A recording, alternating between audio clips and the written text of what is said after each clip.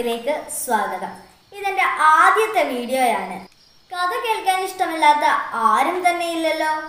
രാത്രിയിൽ കിടക്കുമ്പോൾ ഒന്ന് ചിന്തിക്കാൻ ഒരു മാന്ത്രിക ലോകത്തേക്ക് കൂട്ടിക്കൊണ്ടുപോകാൻ ഒരു കുഞ്ഞു കഥയായാലോ? എന്റെ കൂടെ എല്ലാവരും കൂടണേ. ഇത് നമുക്ക് വായിക്കാൻ ഒരു ബുക്ക് സെലക്ട് ചെയ്യാം. ആ ഇതായാലോ? ഇതിന്റെ പേര് ഒരു കുടയും കുഞ്ഞിപ്പെങ്ങളും. നമ്മുടെ പ്രിയപ്പെട്ട എഴുത്തുകാരനായ മുട്ടത്ത് വർക്കിയുടെ കഥയാണ് ഞാൻ ഇന്നിവിടെ വായിക്കാൻ പോകുന്നത്. അപ്പോൾ നമുക്ക് മുട്ടത്ത് വർക്കിയെ കുറിച്ച് ഒന്ന് നോക്കിയാലോ? മലയാള ബാലസാഹിത്യത്തിൽ എന്നും തിളങ്ങി നിൽക്കുന്ന രചനയാണ് ഒരു കുടയും കുഞ്ഞിപ്പെങ്ങളും. സ്നേഹബന്ധങ്ങളുടെ മഹത്വത്തിലേക്ക് കുട്ടികളെ കൈപിടിച്ചാനേക്കുന്ന ഈ കഥയും ഇതിലെ കഥാപാത്രങ്ങളും ഇന്നും ഓരോ മനസ്സിലും ജീവിക്കുന്നു. കേരളത്തിന്റെ പ്രിയപ്പെട്ട എഴുത്തുകാരനായിരുന്ന മുട്ടത്ത് വർക്കിയുടെ ലളിതവും സുന്ദരവുമായ ആഖ്യാന രീതി കുട്ടികളെയും മുതിർന്നവരെയും ഒരുപോലെ ആകർഷിക്കും. നമുക്കിനി ലില്ലിയുടെയും ബേബിയുടെയും ജീവിതത്തിലൂടെ ഒന്ന് സഞ്ചരിച്ചാലോ? ആകാശം നിറയെ കാർമേഘങ്ങൾ ഉണ്ടായിരുന്നു ഒരു തണുത്ത ജലക്കാറ്റ് അലസമായി സഞ്ചരിച്ചു കൊണ്ടിരുന്നു ഗ്രാമപാതയുടെ ഇരുവശത്തുമുള്ള വൃക്ഷങ്ങൾ തലയാട്ടി. കള്ള കർക്കടകമാസം. ലില്ലി മഴ വരുന്നു. നീ ആ പെണ്ണിന്റെ കൂടെ പോയിക്കോ. മുമ്പേ നടന്നു പോകുന്ന ഗ്രേസിയുടെ നേരെ വിരൽ ചൂണ്ടിക്കൊണ്ട് ബേബി അറിയിച്ചു. ഇച്ചാച്ചനോ അവൾ ചോദിച്ചു. ഞാൻ ഓടിക്കോളാം. അവൻ ഓട്ടമായി. അപ്പോഴേക്ക് ഒന്ന് രണ്ട് നാല് എന്നിങ്ങനെ പെരുകി പെരുകി മഴത്തുള്ളികൾ വീഴുകയായി. സ്ലേറ്റും പുസ്തകവും അടുക്കി പിടിച്ചുകൊണ്ട് ലില്ലി ഓടി. അവളുടെ മുഖത്ത് മഴത്തുള്ളികൾ വീണു. എങ്കിലും പുസ്തകം നനയാതെ മാറോട് അടുക്കി പിടിച്ച് സ്ലേറ്റിന്റെ പുറത്ത് വെള്ളം പുരണ്ടാൽ കുഴപ്പമില്ല. ഗ്രേസി ഞാൻ കൂടെ. അവൾ സ്നേഹപൂർവം യാചിച്ചു. അവൾ ഗ്രേസിയുടെ കൂടെ കീഴെ കയറാൻ ഭാവിച്ചു. പക്ഷേ ആ ധനികകുമാരി മാറിക്കളഞ്ഞു. അവളുടെ ഉടുപ്പ് സിൽക്ക് കൊണ്ടുള്ളതും വെടിപ്പുള്ളതുമായിരുന്നു. ലില്ലിയുടേതോ വില കുറഞ്ഞതും മുഷിഞ്ഞതും. ഗ്രേസി ലില്ലി യാചിച്ചു. പോ പൊട്ടി ഇപ്പം മനസ്സില്ല എന്റെ കൂടെ കേറ്റതില്ല. ഗ്രേസി തീർത്തു പറഞ്ഞു. ലില്ലി പൊട്ടിക്കരഞ്ഞുപോയി ആ പാവപ്പെട്ട കുഞ്ഞിനോട് മഴയ്ക്കും കരുണയുണ്ടായില്ല അത് ശക്തിയായി പെയ്യുകയാണ്. ലില്ലി കരഞ്ഞുകൊണ്ട് മുന്നോട്ടോടി. അവളുടെ കുരുന്നു മുഖത്ത് മഴത്തുള്ളികൾ ചരൽക്കല്ലുകൾ പോലെ അടിച്ചുകൊണ്ടേയിരുന്നു. അവളുടെ കുഞ്ഞു പാദങ്ങളെ തലോടിക്കൊണ്ട് കലക്കവെള്ളം പാഞ്ഞു. വഴിയിറമ്പിലുള്ള ഒരു പീഡിക തിന്നയിൽ അവൾ കയറി നിന്നു. ഉടുപ്പും പുസ്തകവും എല്ലാം നനഞ്ഞു. പുസ്തകം നനഞ്ഞതിലാണ് അവൾക്കു സങ്കടം. തിണ്ണയുടെ കോണിൽ നിന്ന് അവൾ ഏങ്ങി ഏങ്ങി കരഞ്ഞു. കുടയും പിടിച്ചുകൊണ്ട് ഗ്രേസി പോകുന്നത് അവൾ കണ്ടു. തലമുടിയിൽ നിന്ന് വീഴുന്ന വെള്ളം അവളുടെ കണ്ണുകളിലെ മറയ്ക്കുകയും കണ്ണുനീർ തുള്ളികളുമായി ഇടകലരുകയും ചെയ്തു. ചെമന്ന പുള്ളികളുള്ള അവളുടെ ഉടുപ്പ് നനഞ്ഞു കുതിർന്നിരിക്കുകയായിരുന്നു. ശരീരം തണുത്തു വിറയ്ക്കുന്നു പല്ലുകൾ കൂട്ടിത്തല്ലുന്നു അവൾ സ്ലേറ്റും പുസ്തകവും താഴെ വെച്ച് ഉടുപ്പിന്റെ അരുത് കൂട്ടിപ്പിടിഞ്ഞു അപ്പോൾ അതിന്റെ അറ്റത്ത് ശകലം കീറിപ്പോയി. അത്ര കണ്ട് പഴയതായിരുന്നു ആ ഉടുപ്പ്. ഒറ്റ ഉടുപ്പേ ഉള്ളൂ ലില്ലിക്ക്. വീട്ടിൽ തിരിച്ചെത്തുമ്പോൾ ഉടുക്കാൻ അവൾക്കൊരു കുറിയ മുണ്ടുണ്ട് ഒരു ചുട്ടി തോർത്ത് അവൾക്ക് അവളുടെ ഇച്ഛാച്ചനായ ബേബിക്കും മാതാപിതാക്കന്മാരില്ല. കൂലിപ്പണിക്കാരനായിരുന്ന അവരുടെ അപ്പൻ മരിച്ചിട്ട് മൂന്ന് കൊല്ലമായി. അമ്മ മരിച്ചിട്ട് ഒന്നര കൊല്ലവും. അവരിപ്പോൾ പേരമ്മയുടെ കൂടെയാണ് താമസം അമ്മയുടെ ജ്യേഷ്ഠത്തി. പതിഞ്ഞ മൂക്കും തടിച്ചു കറുത്ത ശരീരവും മാമിത്തള്ളയെ എല്ലാവരും അറിയും. കൈയർത്തുകൊണ്ട് ചെന്നാൽ ഉപ്പ് തേക്കാത്ത പ്രകൃതക്കാരിയാണ് ആ പേരമ്മ. അമ്പത്ത് വയസ്സ് വരും. വിധവയാണ്. ഒരു മകനുണ്ട്. അവൻ പട്ടാളത്തിൽ പോയി. മാസം ഇരുപത് രൂപ വീതം അയച്ചു കൊടുക്കും. സ്വന്തം സ്ഥലമില്ല. പൂമംഗലത്തുകാരുടെ വക സ്ഥലത്താണ് താമസം. ഒരു പൂനാച്ചിപുരയിൽ ആ പുരയുടെ തെക്കുവശത്തുള്ള ബംഗ്ലാവാണ് പൂമംഗലത്ത് വീട്. പകലൊക്കെയും മാമി തള്ളയ്ക്ക് പൂമംഗലത്തെ അടുക്കളയിൽ പണിയുണ്ട്. അവിടം കൊണ്ടാണ് ആ സ്ത്രീ ചെലവ് കഴിക്കുന്നത്.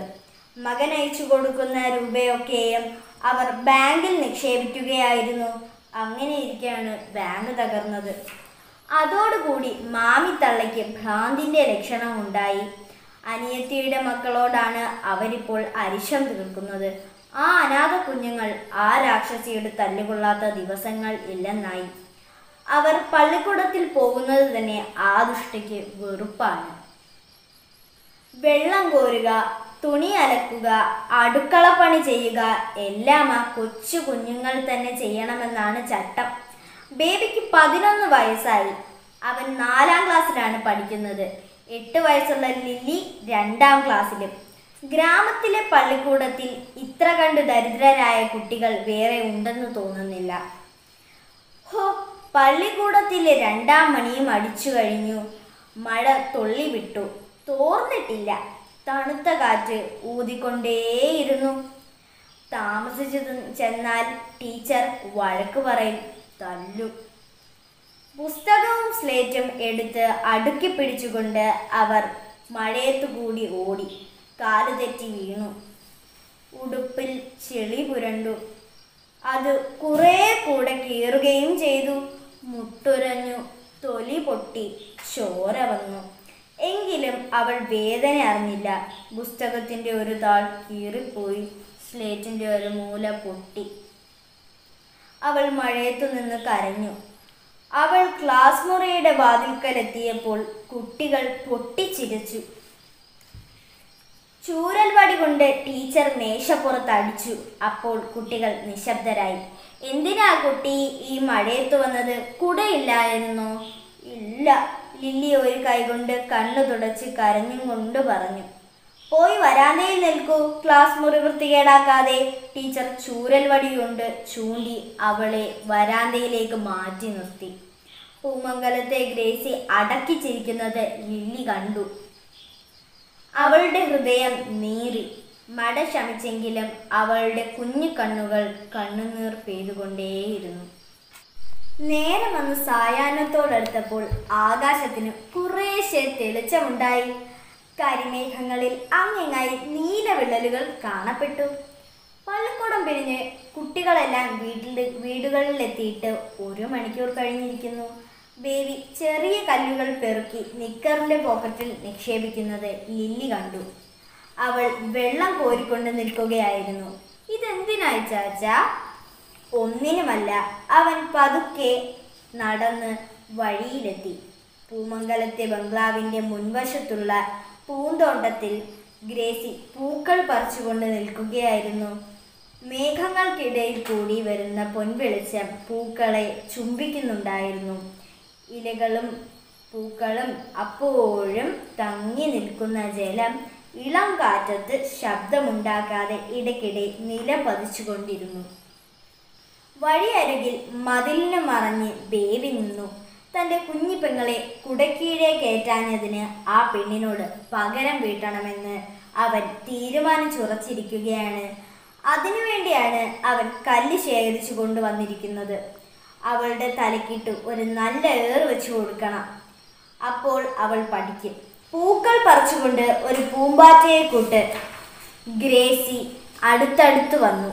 പള്ളിക്കൂടത്തിൽ പോയപ്പോൾ അവൾ ഇട്ടിരുന്ന ഒരു നീല സെൽക്കുടുപ്പായിരുന്നു ഇപ്പോഴത്തേത് ചെമന്നത്. നാളത്തെ ഉടുപ്പിന്റെ നിറം വേറൊന്നായിരിക്കും. അവളുടെ കൈകളിൽ സ്വർണ വളവും കഴുത്തിൽ സ്വർണ മാലയും ഉണ്ടായിരുന്നു. അവളുടെ നിറവും സ്വർണത്തിന്റെതായിരുന്നു ഗ്രേസി ഗേറ്റെങ്കിലേക്ക് നീങ്ങി നിന്നും കൊണ്ട് അവൻ വിളിച്ചു. ഗ്രേസി ഞെട്ടിത്തിരിഞ്ഞു നോക്കി. അപ്പോൾ അവളുടെ കൈകളിൽ നിന്ന് ഒരു റോസാപ്പൂവ് താഴെ വീണു. കൈവളകൾ കിലുങ്ങുകയും ചെയ്തു. എന്താടാ ചർക്ക അഹങ്കാരിയായ അവൾ പരിഹാസ സ്വരത്തിൽ ചോദിച്ചു. നീ എന്താ ലില്ലിയെ നിന്റെ കൊടക്കീഴെ കയറ്റാഞ്ഞേ? മനസ്സിലായിരുന്നു. എന്താ?